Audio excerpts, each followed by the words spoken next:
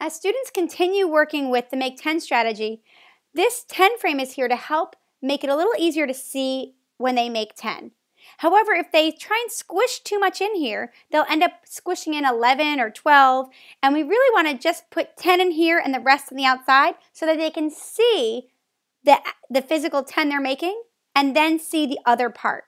So there's a lot of ways students might draw it, but you might pick, this is open circles and closed circles. You can use circles and X's. One, two, three, four, five. Even if you can fit another one in, we only want to put five in this row. That helps us see 10 really easily. We want to line those other ones up, six, seven, eight. Now we can do dark circles, nine, 10. And students that want to count on for right now can count on, if that's easier for them, 8, 9, 10, 11, 12. If that's an easier way for them to solve it at first, we can still uh, promote that and give them confidence in solving and then go back for right now if that's easier for them to say, okay, how do we make 10? We used 2 from our 4 to make 10 and we had 2 more. So we ended up with the same as 10 plus 2 equals 12. It, once students can do a little bit more than that, we can help them think through the Make 10 strategy. A better way to help your child move to that is to say, okay, we already have 8. How many more will we need to make our 10? Oh, 8 and 2, I know that really fast.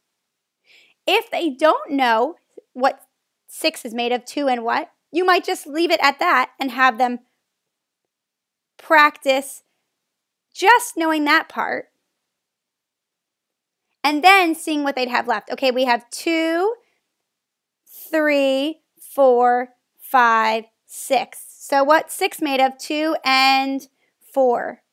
They'll be practicing some of these sums within 10 and the differences as they do this work. And by the end of the year, we want them to have fluency with all of that. So this helps them work on it and still see, oh, 8 and 6 is the same as 10 and 4. So we have 14. And remember, no matter which way it is, we can we want to start with our largest number. 8. How many more to make 10? Oh, 2. Let's think. 7 is made of 2 and what? 2 and 5. So I know that that would be 15.